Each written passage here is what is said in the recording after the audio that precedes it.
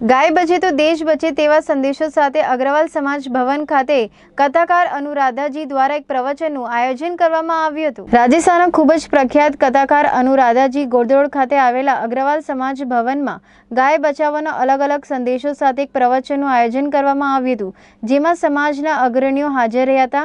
આ કાર્યક્રમ બાબતે વધુ માહિતી આપતા અરુણ પાટોદિયા જણાવ્યું હતું કે, આવા કાર્યક્રમો સુરતમાં યોજાવા જોઈએ, જેનાથી સમાજમાં ગાય પ્રત્યે જાગૃતિ આવે અને અલગ અલગ બીમારીઓનું નિદાન પણ ગાયના મૂત્રમાંથી થાય છે આ કાર્યક્રમ બાબતે વધુ માહિતી એબી ન્યૂઝ ચેનલને કથાકાર અનુરાધાજી સમાજના અગ્રણી અને ગાય પ્રેમી એવા અરુણ પાટોદિયા અને પુખરાજ અગ્રવાલ પાસેથી જાણી હતી सबसे पहले तो साध्वी आराधना गोपाल सरस्वती मेरा नाम है सूरत के जितने भी गौ भक्त हैं सभी को श्रावण मास में जय गौ माता जय गोपाल जी आ, आपकी जो यात्रा है उस बारे में क्या कहना चाहोगे हमारी जो यात्रा है, जो हमारे परम पूज्य सदगुरुदेव भगवान हैं, आपने विश्व की ऐसी पहली यात्रा शुरू की है, जो पूरे भारतवर्ष में जाएगी कश्मीर से लेकर के कन्याकुमारी तक। गुरुदेव भगवान पैदल चल कर के गाँव गाँव शहरों शहरों में जा कर के लोगों को गाय माता की महिमा सुनाएँगे, ताकि लोग प्रेरित होकर के गौ सेवा में लगे।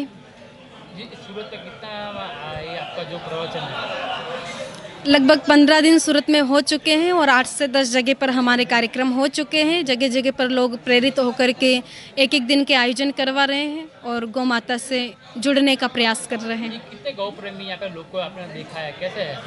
काफ़ी अच्छा लगा है सूरत में आकर के क्योंकि जैसा हमने सोचा था वैसा नहीं है। आकर के जब देखा तो लोग बहुत अच्छे से गौ माता की सेवा करते हैं। दूर है गौशालाएँ लेकिन फिर भी जाकर के गौ सेवा करते हैं। वहाँ पर अपना अनमोल समय निकाल करके वो अत्यधिक समय गौ सेवा गौ रक्षा में कर रहे हैं। जी आज के युवाओं को क्या संदेशा देंगे? युवाओं को संदेशा यह है कि आज के जो युवा हैं, वो भारतीय संस्कृति को छोड़ करके पाश्चात्य संस्कृति की तरफ़ बढ़ रहे हैं। तो आज उनको ये बताना बहुत ज़रूरी है कि हमारी भारतीय संस्कृति वो कितनी कीमती है। अगर हमारी भारतीय संस्कृति ज़िंदा नहीं रहेगी तो हमारी भारतीय संस्कृति एक दिन डूब जाएगी तो हमारे जो धर्म है, वो भी नहीं बच पाएगा। तो उनको ये बताना बहुत ज़रूरी है कि हमारे धर्म की रक्षा करें, देश की रक्षा करें गौ माता की रक्षा करें, ये बचेंगे तो ही हम बच पाएँगे। अरुण पाटोदिया गौ माता का एक छोटा सा बछड़ा हूँ मैं जी सर आज किस प्रकार का कार्यक्रम रखने में आया था देखो, मेरे को एक जानकारी मिली थी कि गाय माता के ऊपर एक हमारे साध्वी जी, जिसको अनुयायी हैं, इनके संप्रदाय में क्या है गाय माता पे एक बहुत बड़ी कथा करते हैं? अनुराधा जी, आपका नाम है? मेरी सूक्ष्म भेंट हुई थी इनकी कल से तो मुझे बहुत अच्छा लगा। और गाय माता की माता के बारे में जो विश्लेषण किए, काफ़ी बीमारियों के, और मैं तो कहता हूँ जो नाइ, लाइलाज बीमारियाँ हैं, जैसे कैंसर है, किसी को बच्चा नहीं होता है उसके बारे में जिस प्रकार से आपने जो दवाई पेश की है, और चौपन सत्तावन तरह की दवाइयाँ हैं, और वो क्या गाय माता की इससे ठीक हो सकती है। और आपने एक तो ये दवाइयों के बारे में बताया।